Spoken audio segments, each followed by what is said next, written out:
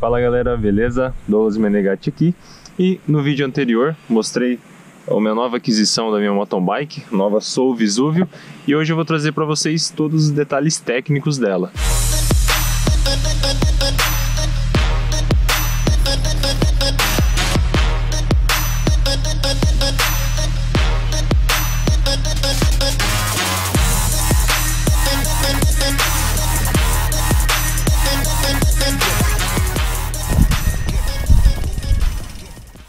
Estou aqui para apresentar todos os detalhes técnicos da minha nova mountain bike, tá? Sou o Vesuvio Team. Esse é o modelo 2021. Esse é o modelo Hardtail. Podem observar que a traseira dela, como vocês já veem em outros quadros, não tem a suspensão embutida aqui na horizontal.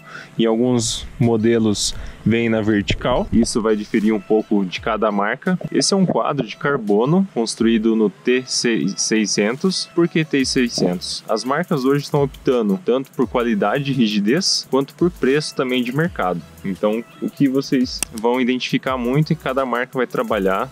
Às vezes cada quadro vai comportar dois até três tipos de carbono diferente. Então, esse é a geometria, o modelo é uma linha mais de competição, tá? Esse é um quadro XL, sou um ciclista bem alto, então optei por essa linha, tá? Todas essas medidas aqui elas me favorecem. Então, em outro vídeo também vou mostrar como escolher a sua mountain bike e as características que vocês têm que prestar atenção, beleza? Peso aproximado do quadro: 1 kg e 100 a 1 kg 200. Isso vai diferir do tamanho do quadro. Esse é um quadro XL, então ele vem mais material. Com certeza ele vai pesar um pouco mais, tá bom? Ela tem todo o cabeamento integrado, tá? Embutido. Vai passar todo por dentro do quadro e sai só lá na traseira, tá? Do câmbio. Então isso dá uma característica mais limpa, mais clean para bike. Cor, vocês podem observar aí um laranja flu, tá? Bem, ele brilha muito, é bem vibrante, tá? Esse flúor aqui que eles escolheram. E o azul, ele vem num degradê, ele tem um, a cor Galaxy Blue junto com Heavy Blue, dá uma estética maravilhosa para bike. Se vocês observarem bem de perto, não sei se a câmera vai focar para vocês, tem uns brilhos também, tá? Então ele dá todo esse efeito. Ele é um quadro boost, a traseira dele mais larga e com o eixo vem agora embutido, ele vem vazado. É um sisteminha diferente aí. Você não vai ter mais aquela blocagem passando e ficando aquela prisilinha aqui fora. Em questões da geometria do quadro, eles favoreceram na questão de estreitar um pouco a traseira, que é onde dá mais rigidez e estabilidade na bike. Quando você tem uma traseira, esse triângulo mais encurtado para a direção aqui do centro, você também ganha uma bike um pouco mais ágil em saídas de curva, em retomada, então isso favoreceu bastante. Por ser um centro press fit, ele não tem um rolamento externo aqui na caixa, ele fica embutido lá dentro então, eles conseguiram né, fazer a criação de uma caixa de centro mais alargada, tá? A caixa de centro ela é mais robusta. Então, esse centro aqui ficou mais espesso, dando mais rigidez para a bike. E nisso conseguiram aumentar esse diâmetro para a roda trazer mais próximo do quadro, que você vê que passa bem perto. Conseguir usar pneus maiores, mais largos, e aproximados. E realmente faz muita diferença na prática, esse é o principal. Outro ponto importante para vocês estarem analisando é a questão da construção do quadro. Nessa toda essa parte inferior do quadro, vem chegando da caixa de direção até a caixa de centro e chegando até o cubo traseiro, é responsável pela rigidez da bike. Então, ponto de torção, é, vibrações na bike, então isso é extremamente importante. E também a característica dos tubos, tá? Do achatamento, alargamento, em que linha que ele vai ficar mais achatado, se vê que ele vem ficando um pouco mais estreito até a linha de centro.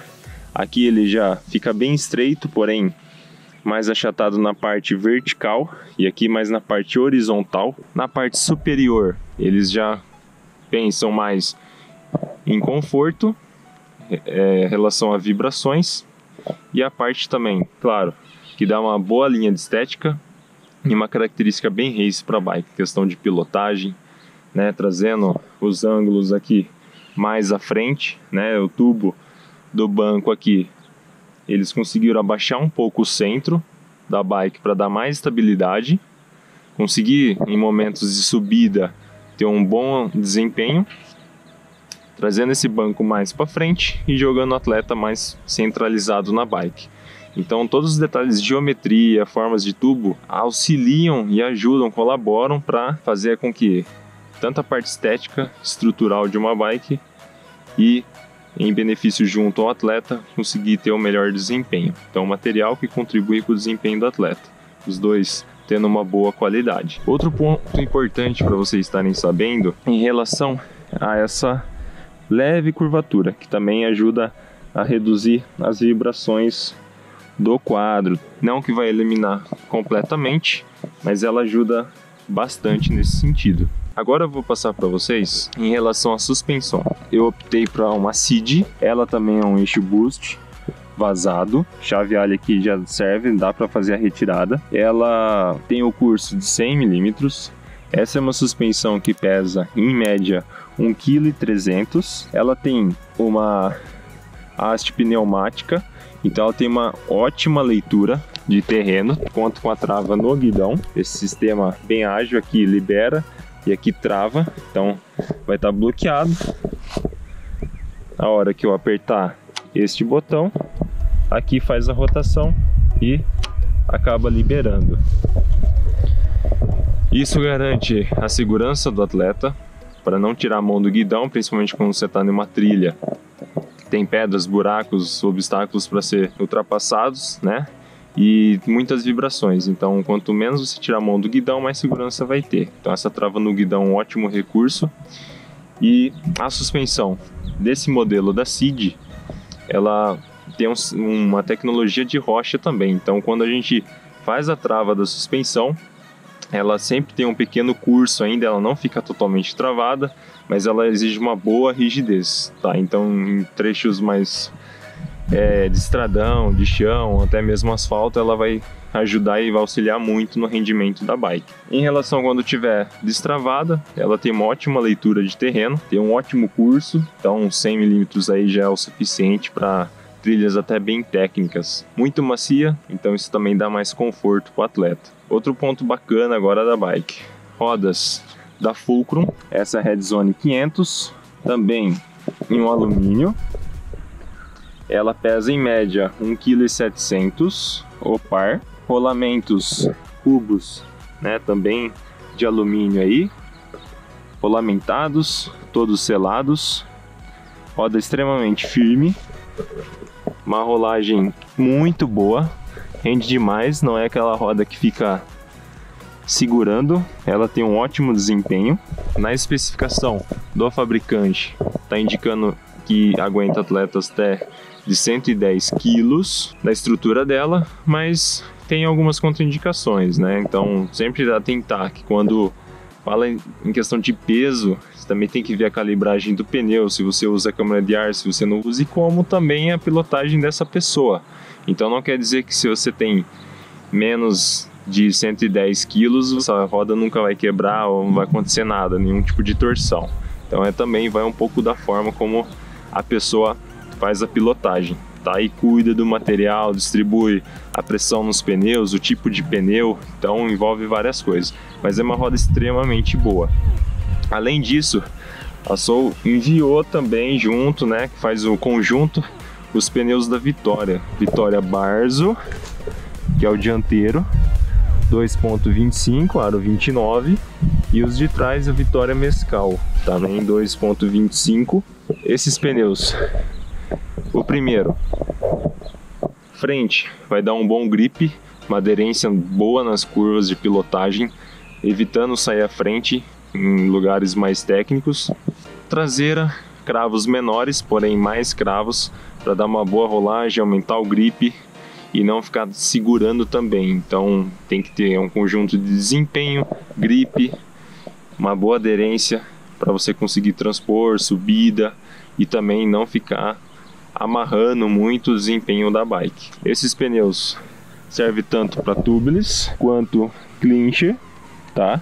Então tem a opção de usar câmara de ar e também tem a opção de fazer a troca para selante, sem câmara de ar, só com o líquido lá na frente de vedação. Outro detalhe importante das rodas, falando de todo esse conjunto, é que elas são a disco. O cubo é todo adaptado para compor aquele disco, atrás quanto na frente. É o Magura, gostei muito desse freio, pelo formato dele extremamente anatômico. Ele funciona com quatro pistões, extremamente preciso, muito maleável. Ele é hidráulico, então aqui corre um fluido de freio, tá? Mineral, em alumínio, esse detalhe. Então ele encaixa muito bem na pegada dos dedos. Eu que gosto de usar apenas um dedo ou dois dedos no máximo, depende do momento da situação. Ele encaixa muito bem, tá ajustado para mim também. Então tem todo um detalhe para estar tá sendo usado. Ele pesa em torno de cada um aqui, dianteiro e traseiro, em média de 250 gramas, tá? É um peso relativamente bom, mas em questão de, de funcionalidade é extremamente boa. Gostei bastante. Agora eu vou apresentar para vocês o conjunto, o grupo que eu optei, tá? Que foi o SRAM GX Lunar 2021.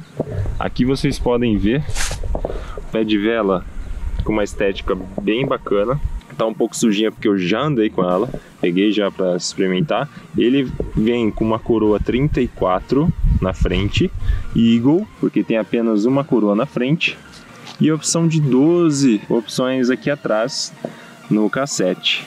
Vem da menor, que é a 10, até a última, que é 52. Então tem muita opção aí para você estar tá indo em qualquer tipo de trilha. Câmbio extremamente estabilizado, firme, nos impactos. Então não é aquela corrente que fica, você passa no buraco, pula uma guia ou algo do tipo e fica balançando e batendo no quadro e, enfim, marcando o quadro. Então é um conjunto muito rígido, troca muito precisa. É um conjunto leve. Outro ponto que eu coloquei, normalmente as bikes novas não vêm com pedal. Eu coloquei o pedal Shimano 520, que é um pedal intermediário, bom para usar, então indico para qualquer pessoa. Custo e benefício é extremamente bom. Agora outro ponto da Soul que eu optei, primeiro ela vem com um conjunto, que são um conjunto Brave, tá? Aqui em questão do canote e depois mesa e guidão. Nesse quadro XL ela acompanha uma mesa de 100 milímetros, que são 10 centímetros, e um guidão aqui de 76 centímetros, tá? Outro ponto bacana é o banco Cell Italia Superflow XLR. Ele é um banco em média aí 280 gramas. Ele tem essa cavidade aqui para evitar a pressão na região perínea, maior contato aqui do assento. Cada camada dessa do banco ela comporta uma determinada resistência, e isso faz toda a diferença. E essa parte de fora aqui, ó, tanto em questão de atrito, de encostar a bike em, na parede, ou que você vai deixar ela guardada, ou até mesmo em tombos, em acidentes, essa região ela é mais reforçada para evitar o desgaste, um ralado, ou realmente está depredando aí o seu material. Então, aqui no modo geral, para finalizar esse vídeo, acredito que eu falei bem sobre cada detalhe, mas resumindo, essa é uma bike já nível profissional competitiva, são peças já bem avançadas e nesse modelo da Soul ela tem garantia vitalícia, tá? Só nesse modelo aqui. Porém você consegue ter a opção de escolher o tipo de roda que você quer que venha no modelo que eles oferecem. A questão da suspensão tem os valores a mais que você tem que estar tá acrescentando, mas compensa muito. E a questão do grupo. Então, Componentes: mesa, guidão, canote, suspensão e roda. Você pode estar tá fazendo todos os upgrades, né? Junto com o grupo aqui também. Cada modelo deles eles conseguem estar tá fazendo aí é, um limite de, de upgrades, então vê o que comporta mais no seu bolso e que também será mais benéfico para o seu nível atlético esportivo aí. Então espero que vocês tenham gostado aí da minha nova aquisição. É uma bike extremamente boa. Indico muito a questão de geometria. Cada modelo de bike ela vai ter um peso por questão de quantidade de material. Então uma S, uma Small, vai ser bem mais leve do que essa daqui, que é uma XL. Então dá uma diferença de 4, 5 centímetros de diferença só de material. Então essa questão aqui é bem superficial porque vai variar conforme a sua condição, você não consegue fugir disso. Então é isso, galera. Esta é a nova Sou Vesúvio Team 2021. Espero que vocês tenham gostado aí das descrições técnicas. Qualquer dúvida, deixa aqui nos comentários mais alguns detalhes que vocês sabem ou que tenha dúvida, eu vou estar tá procurando responder vocês.